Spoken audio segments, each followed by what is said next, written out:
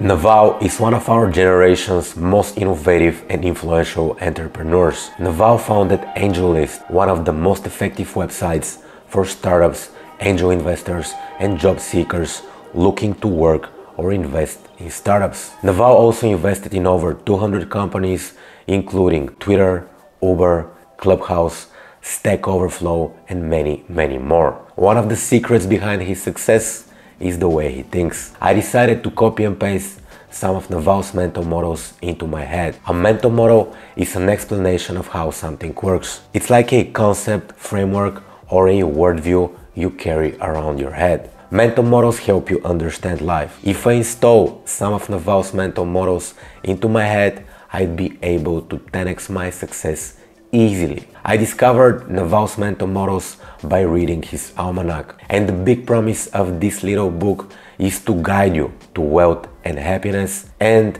this book delivers on that promise. The book is not written by Naval himself, still, it's a collection of transcripts from interviews, podcasts, and things he shared all across social media. The most important chapter in this book for myself was the chapter on mental models. If I think like Naval, I'll get valuable insights on growing my business and for sure that will help me build wealth in the long term. Installing Naval mental models in my head is like a cheat code. I mean, this guy is a genius. Imagine like having Naval in your head, helping you make decision, helping you take action on things is gonna be amazing. I'll give you an overview of all mental models before I start. I'll talk about mental model number one, choose to be yourself.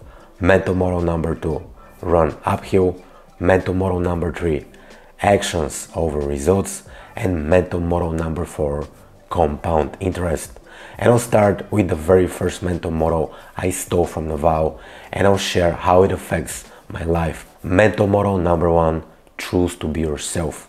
When I started publishing content on the internet, I was terrified of what other people might think about my level of English. Then I was terrified to share some of my personal stories because I thought my friends would judge me. And when I started creating my content, the only thing I cared about was not getting hate comments. And I know it sounds ridiculous, but if somebody made fun of me, that would kill me and make me very, very miserable. I wasn't creating the content I wanted to create.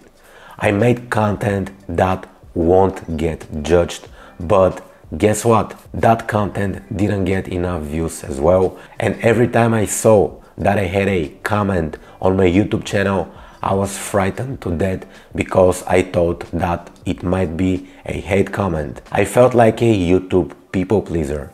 But Naval says, be yourself with passionate intensity. And he is right, there are so many copycats on the internet and so much AI generated content. What the internet needs the most right now is authenticity. He also says that nobody can beat you at being yourself. And for my YouTube channel, I make these types of talking head videos. I want to make them look professional, but I cannot say that I consider myself professional in general. I don't wear suits, I don't wear ties. It was completely the opposite of my identity. In real life, I'm easygoing and I crack a lot of jokes. If I go to a place that requires a dress code, that would make me nervous and until this day I avoid places that require a very strong dress code. In real life I'm casual, but I wanted to make my videos professional so they don't get any hate. And this was the problem. I was not myself. I tried to create some casual videos, vlog style videos, and I like how they turned out much better than my professional videos. And on top of that, it was much easier to make the casual videos. And this is just one example. Whenever I went on dates with girls in the past, I always thought what should I do so this girl likes me? Sometimes I manage to pull it off, but if I start a long-term relationship with somebody, it would be much better if they fall in love with my true self, not some version I thought they might have liked. It's just a better way to start a long-term relationship. The next mental model I'm stealing from Naval is run uphill. Naval says, if you're evenly split on a difficult decision, take the path more painful in the short term. Naval also says that you should choose things with short term pain but long term gain. And in my personal life, back in the days, I tried to avoid pain as much as possible. And whenever I had to make a decision, I would choose the easiest, the less painful way out. And in many cases, that was wrong. And I'm going to give you an example from my dating life. Whenever I met a girl and we end up in a relationship, at the very beginning, things are very, very nice. I have the butterflies in my stomach, but sometimes I have this intuition feeling telling me that's not the right person for you. And I just see signs. I know that dating this person is fun, but we won't be happy together in the long term. The easy and less painful path would be to stay with that person and just lie to myself that we're gonna change and we're gonna make it work. But the way more painful is to break up and deal with all the emotions that come up with a breakup. I have to deal with my loneliness and being lonely is painful. If I break up, I compromise my happiness in the short term. But if I stay in the relationship, I'll be miserable with that person in the long term. That's why I chose to stay lonely, build myself as a person, build my value up, full soldier mode, and whenever the time comes, I'll meet the right person. And it's the same with my business. I graduated from Law University. The moment I got my degree, I knew that was not the path for me and I wanted to do something else. Getting a job as a law intern or pursuing a career in law was in my comfort zone because I had the support of my friends and my family. And this is what everybody else did, you know. Instead, I decided to find out what I'm really passionate about. I tried different kinds of jobs and I found my passion for marketing. Quitting jobs was painful, but in the long term, I found the job I love. And I want to do this job for the rest of my life. And I'm really happy with my choice to pursue a career in marketing. If I decided to pursue a career in law, I would have some peace of mind at the very early beginning, but I would hate it more later.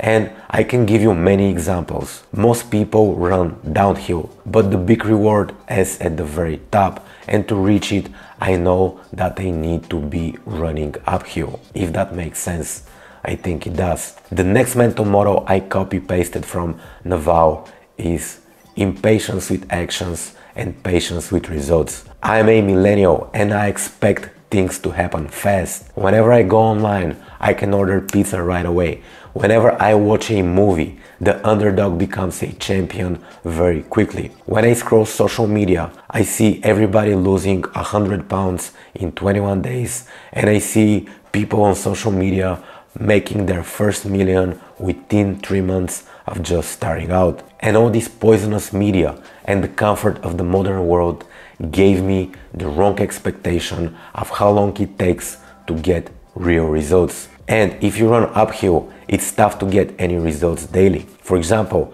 I got 7 subscribers from my YouTube channel for one week. It's not a lot, it's some progress, but if I see my results since I started, I got 400 subscribers in one and a half years. Again, that's not a lot, but it's something. If I focus only on the results, I'll quit after making two videos. But I know that if I keep on making videos, eventually I'll make it. I don't say that I'm 100% sure I'll make it, but I'll do whatever it takes to make it. I'll be patient with the actions I need to take to make it. And if I'm consistent enough, my actions will compound over time and I'll earn some compound interest. And this is another mental model I stole from Naval. Compound interest relates not only to the money I make, but also to every little action I take.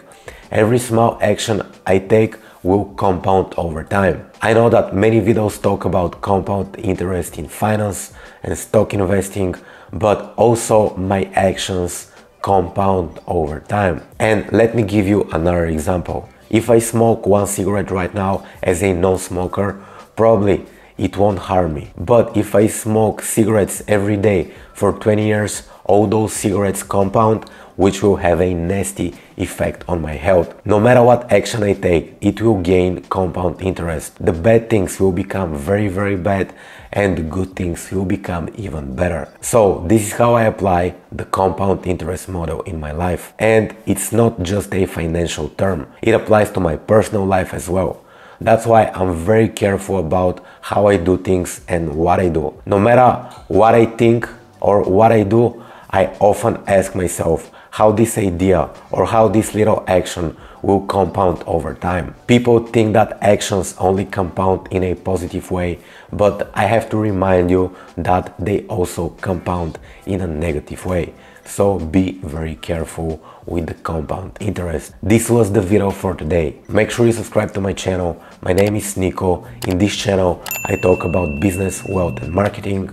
And yeah, I'll talk to you soon. And sorry for my voice it's a little bit itchy or scratchy or whatever you want to call it but I really had to make this video